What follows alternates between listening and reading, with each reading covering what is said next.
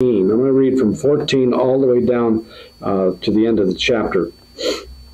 For the love of Christ constraineth us, because we thus judge, that if one died for all, then we're all dead, and that he died for all, that they which live should not henceforth live unto themselves, but unto him which died for them and rose again. Wherefore, henceforth know we no man after the flesh. Yea, though we have known Christ after the flesh, yet now henceforth know we him no more. Therefore, if any man be in Christ, he is a new creature. Old things are passed away. Behold, all things are become new. And all things are of God, who hath reconciled us to himself by Jesus Christ, and hath given to us the ministry of reconciliation, to wit, that God was in Christ reconciling the world unto himself not imputing their trespasses unto them, and hath committed unto us the word of reconciliation. Now then, we are ambassadors for Christ, as though God did beseech you by us. We pray you in Christ's stead, be ye reconciled to God. For he hath made him to be sin for us, who knew no sin, that we might be made the righteousness of God in him. Let's have a word of prayer and then we'll look at this. Father, we thank you for your word. We thank you for making it known to us, helping us to understand who you are and what you've done for us. Lord, I pray that you would give us the understanding of our responsibility, of the ministry that we have here uh, after we are born again. We are yours, and we are to be uh, serving you in the way you want us to. I pray in Jesus' name, amen. So I see three things here. Number one, we see an obligation to God, uh, and then we see because of because of the second point, um, the new creation. We are a new creation, which gives us the obligation or puts us in that position of the obligation. And then uh, toward the end of this uh, section, we see that we have a responsibility to uh, be ministers of reconciliation, reconciliation to God. And I know I covered that uh, rec- reconciliation uh, and redemption about well, probably a month or two ago in uh, the services, but we'll look at it again here uh, in this particular passage. So, for number one, our obligation to God. Notice in verse verses 14 and 15, he says, "For the love of Christ constraineth us." Because we thus judge that if one died for all, then we're all dead, and that he died for all, that they which live should not henceforth live unto themselves, but unto him which died for them and rose again. So, being obligated, uh, what does constraineth mean? For the love of Christ constraineth us. Anybody know what constrain means? Don't let him go. What's that? Don't let him go. Don't let him go. You, you know that, that that's that's right. To constrain somebody is, is in a sense restrain, but uh, it's not uh, it's not a, a, trap. But to constrain something is a pressure. Okay, don't let him go. Um, I, I, can't think of um, who it was, but somebody. I think it might have been Lydia in the uh, New Testament, the Book of Acts, when Paul and uh, his um, people who he was with. And they ministered to the people at the riverside, and Lydia came to know Christ as her Savior. She constrained them to stay with her. And so she didn't trap them, she didn't tie them up and restrain them, but she, in a sense, pressured them to stay. And so the love of Christ, he says, constrains us. We're, it might sound bad, but we're under pressure, okay? And it's the type of pressure that God uh, lays on our heart. Go over to the book of Acts, and we'll see a different time. Acts chapter um, 18. Paul is is traveling on his missionary trips, and he ends up in. Uh, he doesn't end up there, but he he comes to uh, the city of Athens, and we know that he preached to the people at the at Areopagus there in the, the city of Athens. But while he was there, he was uh, waiting for Silas and Timothy to come. Verse number five. And when Silas and Timotheus were come from Macedonia, Paul was pressed in the Spirit and testified to the Jews that Jesus was Christ. That word pressed there is the same word. Uh, that means com- uh, constrained. So Paul was constrained. He was pressured. Now you might you might think that in the in the Spirit means that the Holy Spirit pressured him. There's a there's a possibility that that was there, but it, it was Paul's own spirit. He he saw the need of these people. And uh, of course, God reveals things to us, and the Holy Spirit probably revealed the need. And so he was pressed or constrained in his own spirit to reach out to them and, and teach them that Jesus, this Jesus of Nazareth, was the Messiah that the that the Jews have been looking for for thousand years. Uh, the one to come from God. So uh, he was he was constrained. And so back in Second Corinthians five, when we see that uh, uh, we are constrained, he says it's because of what Christ has done for us. We are constrained because of the love that God has for us. And you might also add our love for Christ. If we didn't love Christ like we should, would we ever be constrained or pressed to minister for Him? Uh, our love is also part of that love. The love of Christ can mean both uh, His love for us or our love for Him. But He says uh, it's that love that pushes us into uh, doing or working for the Lord. Go over to 1 Corinthians chapter 9.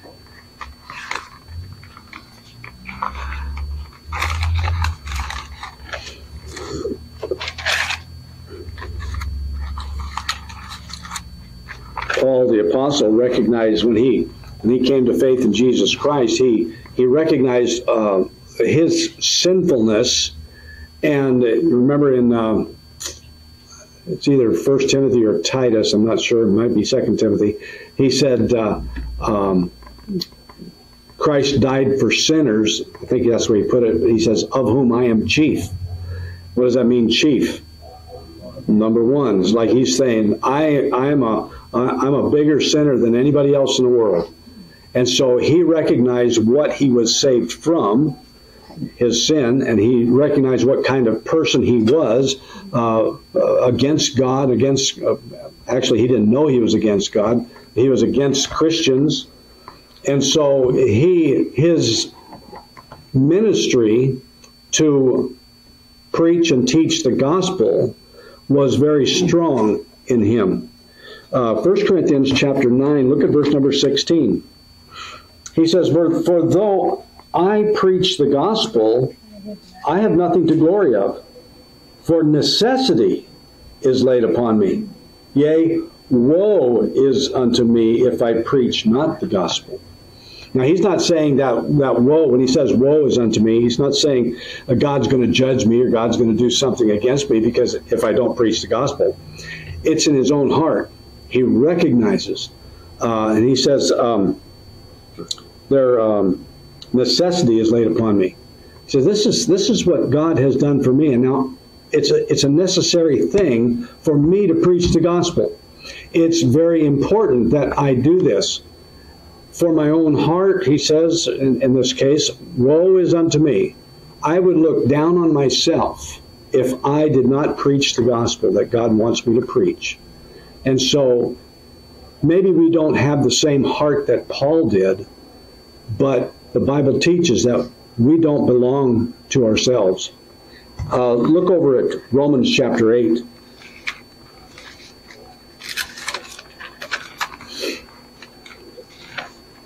Romans chapter 8 and verse number 12. Therefore, brethren, we are debtors not to the flesh to live after the flesh. For if ye live after the flesh, ye shall die. But if ye through the Spirit do mortify the deeds of the body, ye shall live. He says we're debtors not to the flesh. Well, if we're not debtors to the flesh, then we must be debtors to the Spirit. What is a debtor? One who owes. One who owes. Now, we can we talk about if people are in debt today. Normally, we're thought, talking about uh, they owe a bunch of money to different people. interest. It- it- even if it's interest, we owe, oh, okay, we are debtors. So here he says, we're not debtors to the flesh. So apparently, it's something else that we're debtors to. We owe something to someone. And what we owe, that we can never repay in this case. What we owe to God is our lives because he has done so much for us. And so this is what he's saying. Um, we can never repay Jesus Christ. We can never repay God for what God did to us. Mainly, not, not there's two. We could think of two reasons why we can never repay it. Number one, it was such a high price to pay. What what would we have done if we had to pay for our own sin? End up in the lake, the lake of fire forever and ever, because that's the only way, because it's an infinite price. The other reason um, we can't repay it is because it's a gift. How many of you have paid somebody else for a gift that they've given to you? If you have paid them for it, then it's not a gift. You might buy yourself a gift, but what, what's that? You paid for it, right? But um, if somebody gives you something like, like God gave to us, the gift of eternal life. Even if we wanted to pay for it, it would be wrong to try because it's a gift. And so, uh, in a sense, when we look at it that way as a gift, we really don't owe God for our salvation. But we are debtors to the Spirit to live for the Lord because uh, we don't belong to ourselves. Look again at 1 Corinthians chapter 6.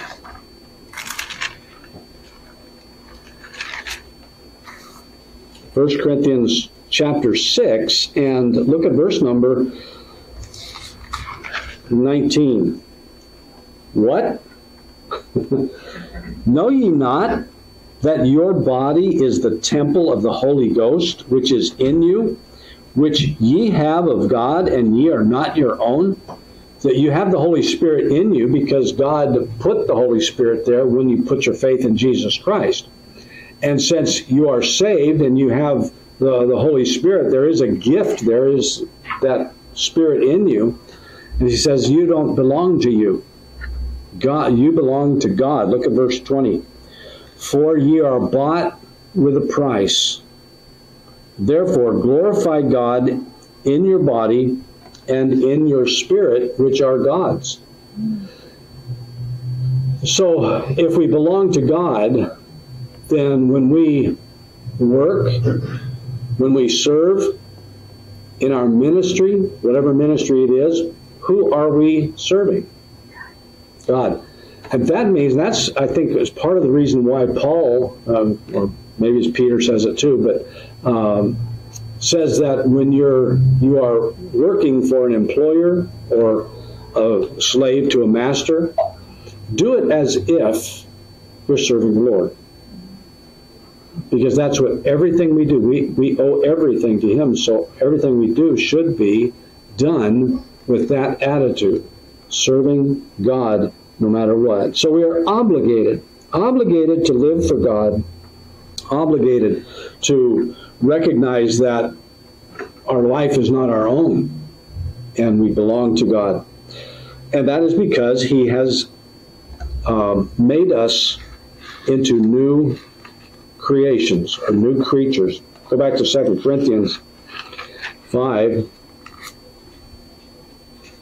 And uh, as we look at this, we look at uh, verses 16 and 17. He says, Wherefore, henceforth, know we no man after the flesh. Yea, though we have known Christ after the flesh, yet now henceforth know we him no more. And that's a hard thing to understand, but I think the the gist of it, he's saying, listen, at one time, all you could think of, the only way you could think was uh, as a human being in the flesh, and you could recognize who Jesus was in the flesh, not his flesh, but your own flesh. You're looking at, at him from the standpoint of a simple simple, of a human being who has not been changed by the uh, by uh, in salvation. So we, we look, and people around us can look at Christianity, they can look at, at God, they can look at the crucifixion, but they're looking at it from the standpoint of a fallen human being. And so at one point, that's the way we looked at Christ. But now, and what's it, what does henceforth mean? Going forward, or from now on, we look at Christ with the eyes of spiritually minded people. People who have been changed by the Spirit of God. Look at the next verse. Therefore, therefore, okay, that means because of this, what I just read, we're looking at Christ uh, not after the flesh anymore. Because of that, if any man be in Christ, he is a new creature. Old things are passed away. Behold, all things are become new. And we can talk about that again, but I'm not going to do that. You just look at the picture of the butterfly or the uh, frog. It used to be a tadpole. It's just a whole metamorphosis, a change. And that's the way we are. We were just had, we just had only the, the uh, old nature, the old man, the way every human being uh, has been born since Adam, Adam and Eve. Okay, they're born with the, the old nature, the sinful nature. And uh, now, though, when we put our faith in Jesus Christ, we are new. Uh, go over to Titus chapter 3.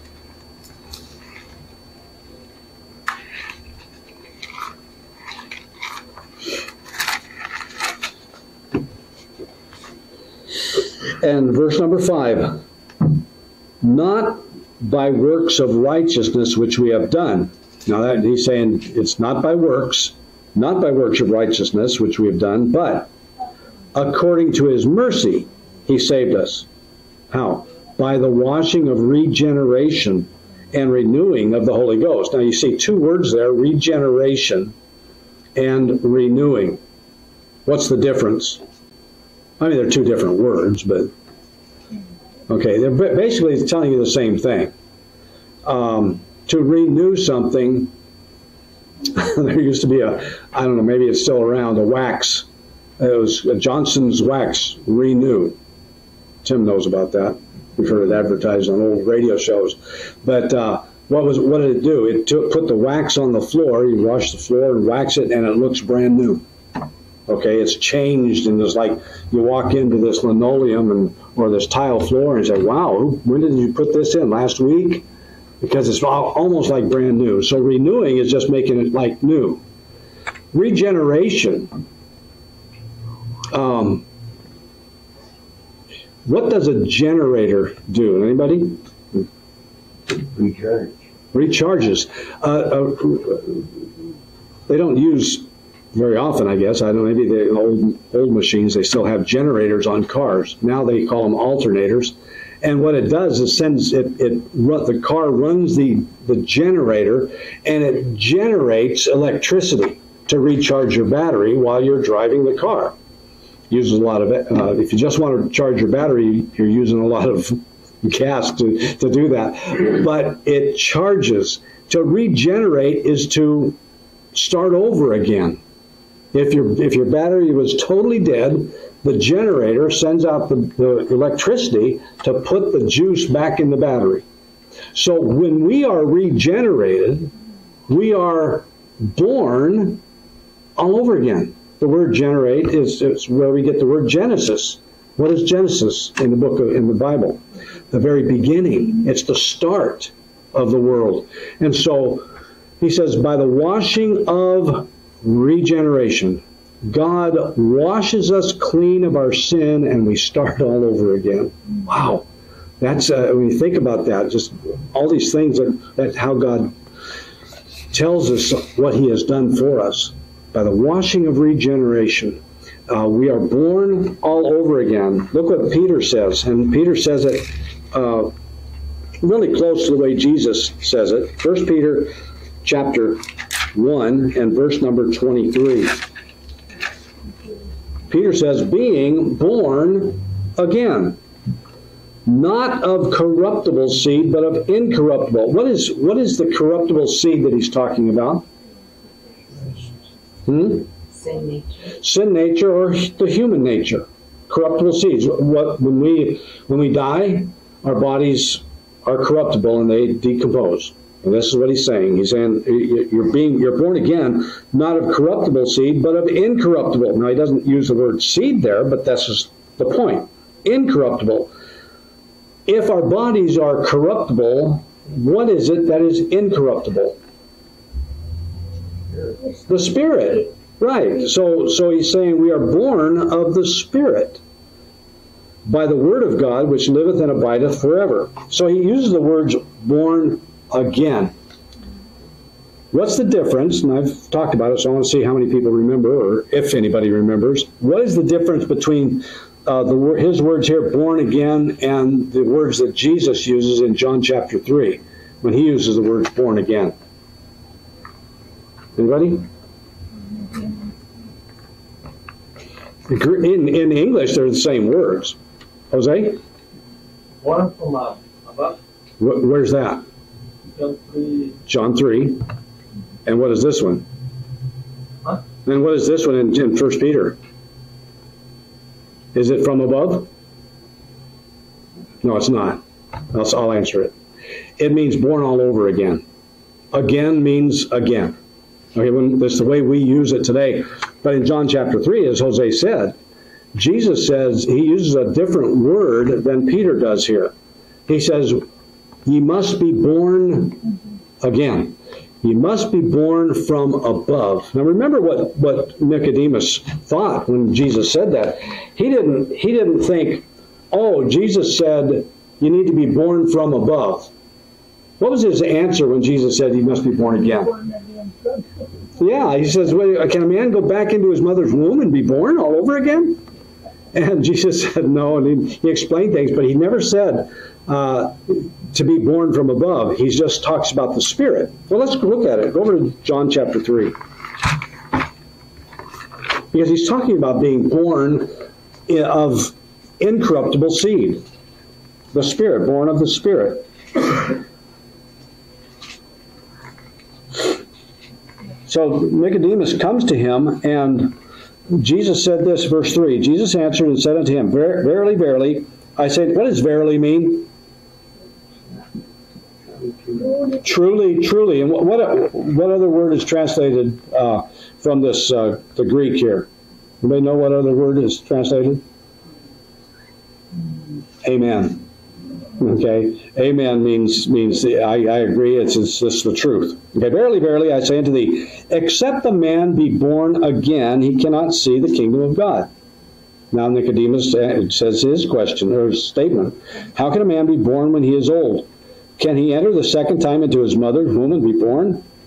Jesus answered, Verily, verily, I say unto thee, except a man be born of water and of the Spirit he cannot enter into the kingdom of God. That which is born of the flesh, corruptible, is flesh or corruptible, and that which is born of the Spirit is spirit and it's incorruptible. So both Peter and, and Jesus are saying the same thing, only Jesus says need to be born from above. Peter says you need to be born all over again. You need to be regenerated, start over. And when we put our faith in Jesus Christ, we are starting over and we are those new creatures uh, new creation that Paul talks about there in Second Corinthians. The spiritual birth, then, is the only way a person can be reconciled to God. Now, what, what is what does reconcile mean? Anybody? What's that? Set right. Set set right and balanced. Right. Well, I use the, the, the, the, bank statement all the time, but it's really, it's, it's, it's, when you think about in this case, when we're talking about reconciliation, it's bringing, setting right a relationship between two individuals. Let's just look at me for a second, a little bit, just as an example not because anything special about me, but you, can be me and you can be in my place. Before I know, before I was um, uh, um, reconciled to God, I was His enemy because I had sin that was not. I mean, it was it was it was paid for in Christ, but I had never accepted God's forgiveness of that sin. And so I was at odds with God. You know what that means? At odds with God? Enemies. We were at, in, at enmity with one another. But He, God, is always reaching out to everybody in the world. Always. Okay? And and so I needed to be at one with him. Now that's where we, we get we can say the, the word atonement, at one I needed to be even with him. The Bible Bible teaches that um, for all uh, how does it go? Uh-huh. Uh, for all have sinned and come short of the glory of God. How close is the closest person to the glory of God without Jesus Christ? You're shaking your head. What does that mean? There's, it's opposite. There's, there's no nobody's closer. We're all infinitely uh, apart from Christ. We come to say come short is is like in what they call an understatement. Now we're nowhere near the righteousness of God or the glory of God. So uh, we need to have the righteousness of God so we can be reconciled to Him. So how can anybody? This is this is the, the, the amazing, one of the amazing things about what God has done for us. If God is absolutely, infinitely righteous, how is a person ever to get to be there? In Jesus Christ. So when we talk about the righteousness of God, infinite righteousness, when we put our faith in Jesus Christ, we know that God has given us the infinite righteousness of God. That's crazy. I mean, when you think think about infinite righteousness, I have that. I do. I'm not infinitely righteous, but I have His infinite righteousness because we are reconciled to God when we uh, put our faith in Jesus Christ. It's through what God has done. We were enemies at one time. Isaiah 59 uh, verse 2 says, But your iniquities have separated between you and your God, and your sins have hid his face from you that he will not hear. What's that sound like? That sounds like he blocks his ears and says, I don't want to hear you. I, just stay away from me. Uh, but it's not that way. What it is, is we have turned our back on him. And so it's, it's as if when we speak, we speak this way, and he can't hear us because he's behind us.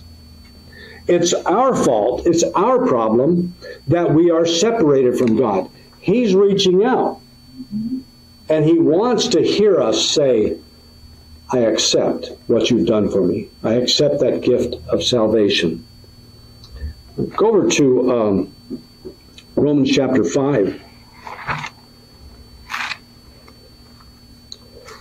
Romans chapter 5, and look at verse number 8. But God commendeth, or he shows us, his love toward us, in that while we were yet sinners, Christ died for us. Much more then, being now justified by his blood, we shall be saved from wrath through him. Saved from what wrath? Hell. What is hell all about?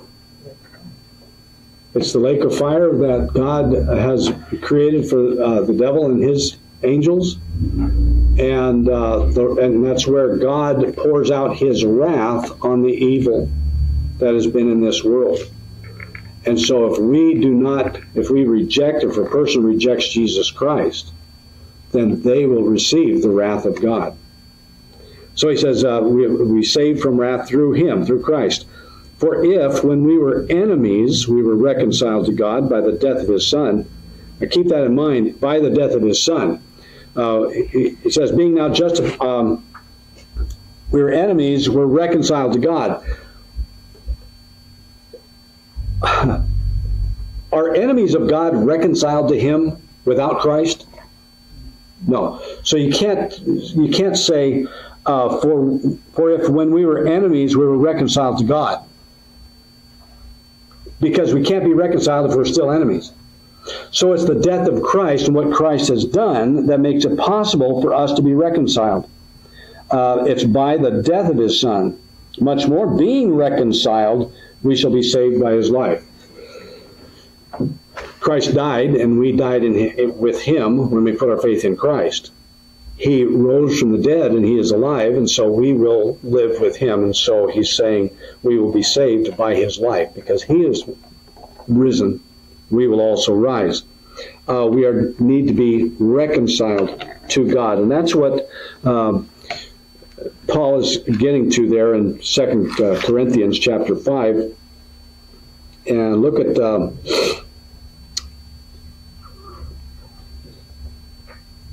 Well, let's start at verse 18. And all things are of God, who hath reconciled us to himself by Jesus Christ, and hath given to us the ministry of reconciliation. So, what is ministry? What is a ministry? Hmm. It's a real, it's a real simple word. I'll, I'll give you a, an answer, and it's just three letters. What is a ministry? Serve is five letter. That's right. Serve. A job. Okay, a job is two, three, three letters. The ministry of reconciliation. It is our job. It is our service, as um, Amy said. We serve the Lord in this ministry of reconciliation. To wit, I had to look this up. To wit, anybody know? My uh, my uncle, my, my uh, aunt's husband, was named Carl Witt. And uh, they used to joke about it, and they said, well, we're, we're a bunch of, those people who weren't uh, full wits, they were only half wits. But what's a wit? What does, what does it mean to wit? This is one of the very few places in Scripture where it's not in italics. This is really, it's, it's a translation here of, of, a, of a word. Does anybody know what to wit means? Because. What's that? Because. Because, or, or in this way. Okay? He says, to wit, that God was in Christ reconciling the world unto himself. God has, uh, verse 18, God's given to us the ministry of reconciliation.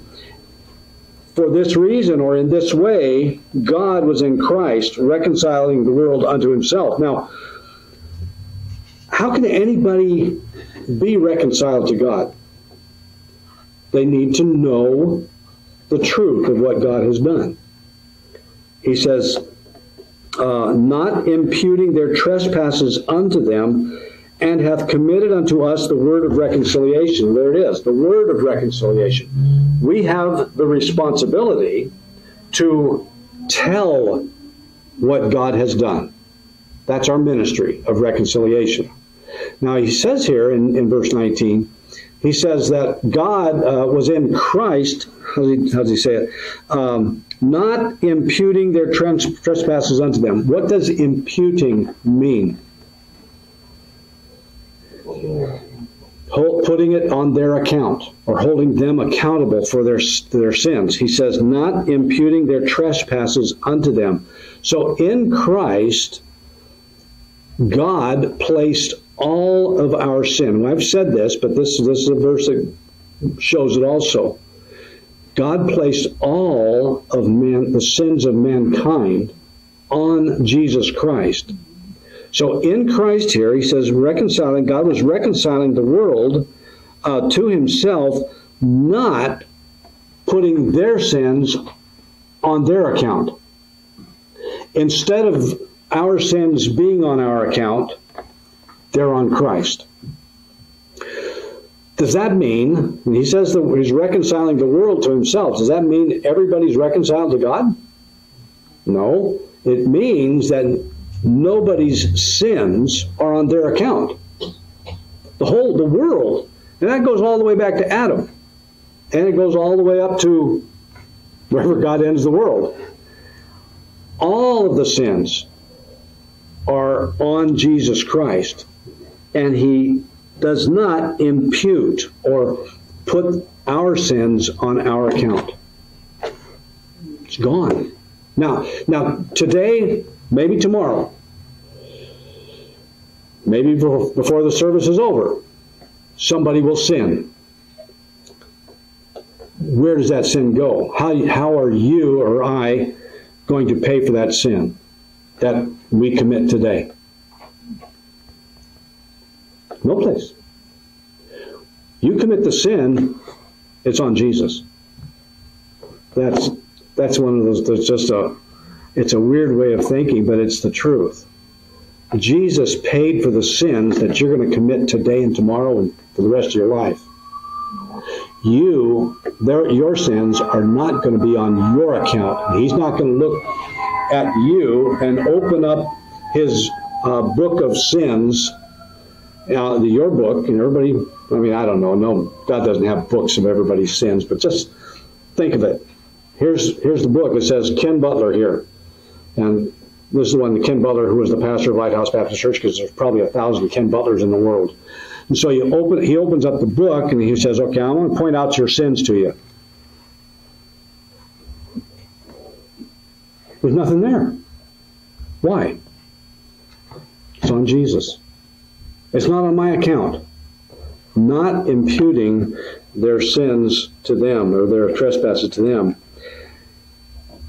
And so this these truths here, I'm not reading now, but these truths, he says, uh, he has committed unto us the word of reconciliation.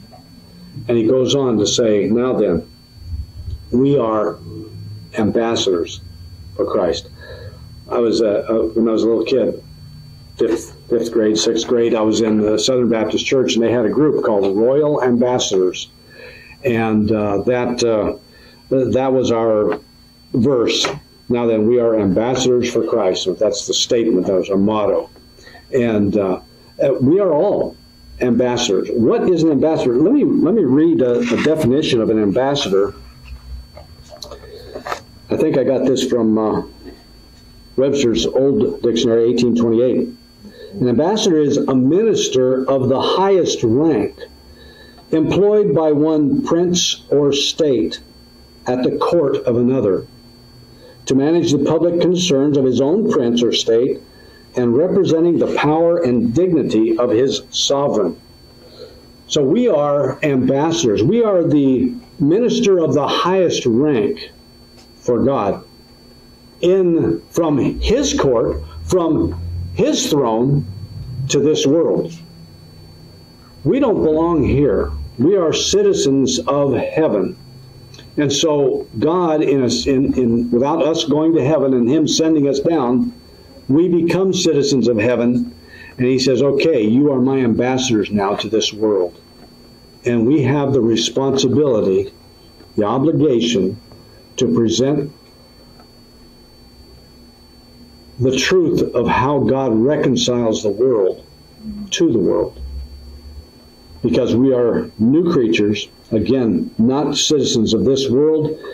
We're ambassadors from heaven to the world, and we should be giving the word of reconciliation. Let's finish verse, the two verses there. Now then, we are ambassadors for Christ, as though God did beseech you by us. We pray you, in Christ's stead, be ye reconciled to God. He says, uh, being, being an ambassador, it's as if God said, uh, God is beseeching you